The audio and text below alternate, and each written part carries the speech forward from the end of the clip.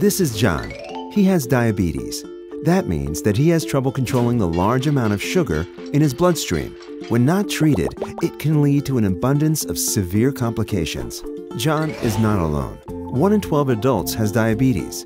That's almost 400 million people, expected to reach 600 million by 2035. Diabetes costs the global economy $500 billion every year, and this number continues to grow. John, like many diabetics, injects insulin in order to balance the sugar levels in his blood. His current condition could have been better had he started insulin treatment sooner. But he pushed treatment off due to fear of needles, their inconvenience, and the significant stigma associated with injections. There must be a better solution.